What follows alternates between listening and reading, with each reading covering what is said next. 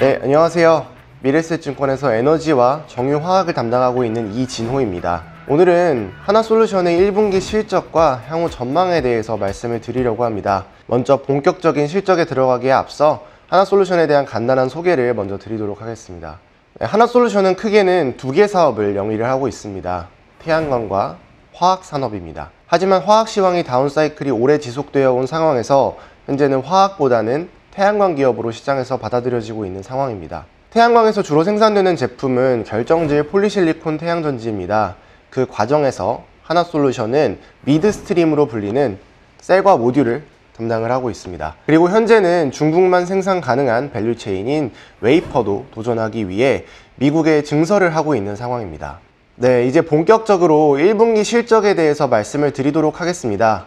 하나솔루션은 지난 4월 말 1분기 실적을 발표했습니다. 1분기 영업 적자는 약 2,200억 원으로 시장의 기대치인 영업 적자 1,300억 원을 한참 하회하는 저조한 실적을 기록을 했습니다. 시장의 기대치를 하회했던 결정적인 이유는 신재생 에너지 부문 때문입니다. 비수기 영향과 높은 재고량 문제가 겹쳐 모듈 판매량은 50% 이상 감소했고 판가는 오른쪽 그래프에서 보시다시피 20% 이상 하락했습니다. 중국은 무지막지한 증설을 통해 공급 과잉 문제를 야기시키고 있으며 이러한 부작용이 미국과 유럽에도 영향을 미치고 있는 상황입니다. 하지만 해당 문제는 3분기부터 점차 해결될 것으로 전망합니다.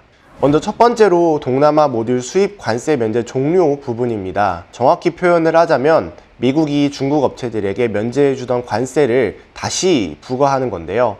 이 문제는 2년 전으로 거슬러 올라갑니다. 바이든 정부는 신재생 에너지인 태양광 정책을 통해 일자리와 전력 공급량을 늘리고자 했습니다. 하지만 왼쪽 그림과 같이 중국 태양광 업체들이 시장의 80%를 차지하고 있는 상황에서는 중국 제품 없이 태양광 정책을 진행하기란 불가능했습니다. 따라서 동남아시아를 거쳐서 들어오는 중국 제품들에게는 관세를 2년간 면제해주는 조건을 내걸었었습니다.